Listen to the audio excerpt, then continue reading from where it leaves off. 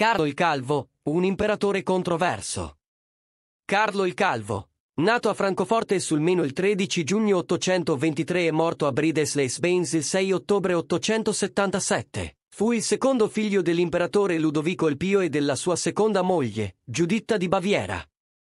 Fu re dei Franchi occidentali dall'840 all'877, re di Lotaringia dall'869 all'877, imperatore del Sacro Romano Impero dall'875 all'877, re d'Italia e re di Provenza dall'875 all'877.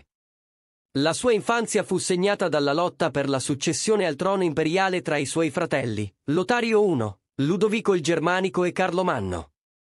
Alla morte del padre nell'840, Lotario fu riconosciuto imperatore e re dei Franchi, ma Carlo e Ludovico si coalizzarono contro di lui e lo sconfissero nella battaglia di Fontenay nell'841. Con il trattato di Verdun dell'843, Carlo ottenne il regno dei Franchi occidentali, che comprendeva l'attuale Francia occidentale e parte dell'attuale Belgio.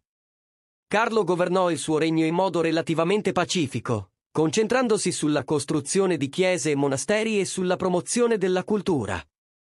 Tuttavia, il suo regno fu anche caratterizzato da una crescente instabilità politica e sociale. Nell'852, Carlo perse il controllo dell'Aquitania, che fu conquistata dal suo fratello Ludovico il Germanico.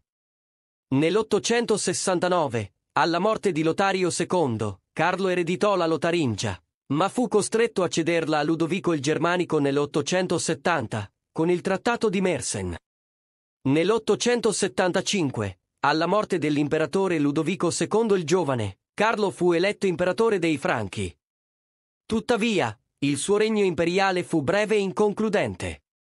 Carlo morì nell'877, lasciando il suo regno in una situazione di caos.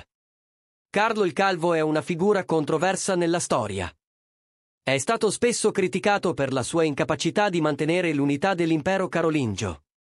Tuttavia, è stato anche elogiato per il suo sostegno alla cultura e alla religione. Le principali caratteristiche del regno di Carlo il Calvo. Il regno di Carlo il Calvo fu caratterizzato da una serie di eventi e tendenze che contribuirono alla disgregazione dell'impero carolingio. La lotta per la successione, la lotta per la successione al trono imperiale tra i figli di Ludovico il Pio fu una delle principali cause dell'indebolimento dell'impero.